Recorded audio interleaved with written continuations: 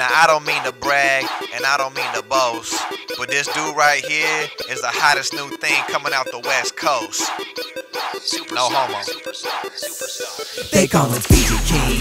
Yeah, he got that style. Chicks pass by, and all you see's a smile. Yeah, he got that game. Yeah, he got that class. He got the best graphics. Yeah, it's on lock. One hour photo got competition with Photoshop. Soccer be his dream. Out to get the cream. Soaring down the field like he got some wings. So quick, so fast. Steady on the stash. Yeah, it's that boy.